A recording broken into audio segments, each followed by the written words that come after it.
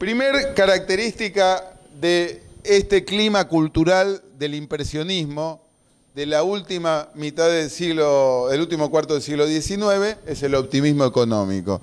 Quise poner esta imagen porque me pareció muy representativa de lo que quiero transmitirles, que es la segunda revolución industrial, la euforia económica. Y acá vemos una imagen nocturna donde el pintor impresionista da testimonio de una nueva forma de ver la realidad que es a través de la luz eléctrica. A nosotros nos puede parecer lo más común y corriente, pero en el último cuarto del siglo XIX, cuando se empiezan a hacer los primeros tendidos eléctricos en las ciudades y la iluminación artificial, fue un gran cambio para el hombre y para la humanidad. Un cambio que pasó desapercibido, pero trastornó el reloj cronológico de, la humanidad, acostumbrado a que sus hábitos iban al compás de la luz natural.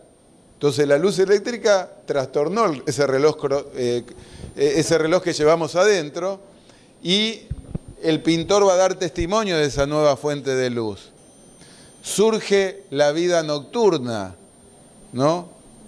Eh, surge incluso para los estudiantes de turismo eh,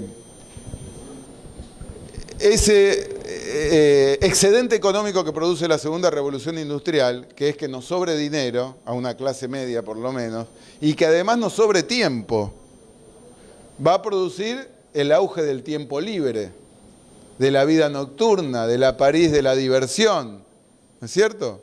Toda una industria vinculada al tiempo libre. Entonces, esta pintura da testimonio de ese optimismo económico, ¿no? De la vida nocturna de París. En ese sentido quería mencionarles que imagínense que este clima de euforia también va a generar un mercado, un mercado del arte importante que va a estimular a algunos pintores y otros van a sentirse desalentados. Pero es, importante hablar de la, del entorno económico, del contexto económico de fin del siglo XIX. ¿no?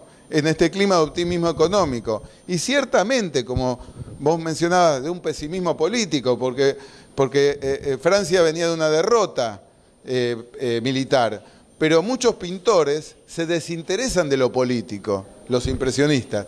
No vas a ver pintura impresionista que tenga compromiso social y político como los realistas. No, se van a desentender. Van a buscar experimentar exclusivamente con la luz y el color. ¿No? desinteresándose de las cuestiones políticas conflictivas de la época.